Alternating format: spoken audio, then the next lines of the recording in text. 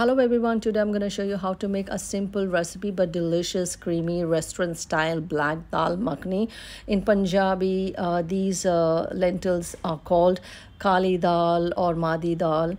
Uh, these dal infused in smoky flavor with simple spices but perfect when you pair it up with naan, roti, paratha or rice. So let's check out the ingredients. Here I have a black urad dal. Wash and rinse two or three times in fresh water and uh, soak in a deep vessel with enough water for an hour.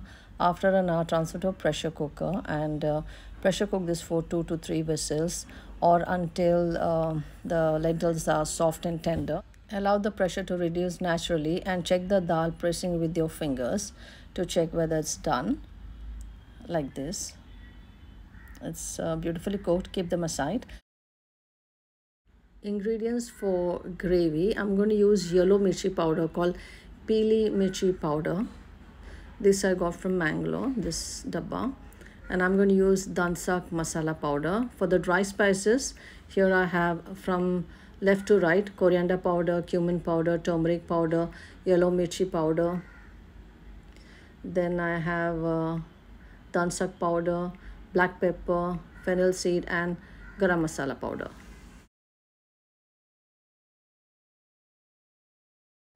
add to the chutney grinder cooked urad dal or 2 3 tablespoon and i'm going to add uh, brown onion garlic paste and ginger pieces. I'm going to blend this to a smooth paste like this and keep them aside. See it's beautifully pureed. You keep them aside. Here i have amul cream fresh cream and uh, soak cashew and poppy seed in hot water for an hour and transfer to chutney grinder. Blend to a smooth paste like this. Here I have uh, green chili cut green chilies. Heat oil in a pan add green chili and give it a stir. Now add this uh, brown dal garlic ginger paste. Give it a stir. Cook until the raw smell of garlic and ginger disappears it will take uh, two to three minutes. Once they're nice and bubbly go ahead and add um, all the dry spices. Uh, lower the heat. If the masala is too dry you can go ahead and add oil. Now i'm going to add ghee. Stir. Now add tomato puree cook this tomato puree until the oil separates from the masala.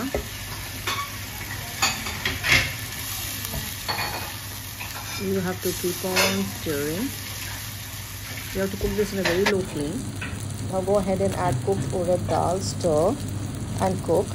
And while stirring, mash some lentil with the spoon while the lentils are simmering.